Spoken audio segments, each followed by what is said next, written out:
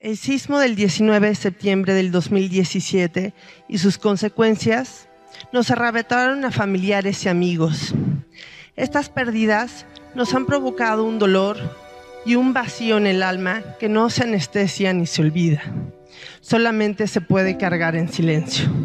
Las cifras de muertos del 19S de 2017 no se reduce a ese día, sino que se suman las personas que fallecieron en la espera de poder regresar a sus hogares. En el grupo han fallecido este, pues, varias personas sin regresar a su, a su hogar.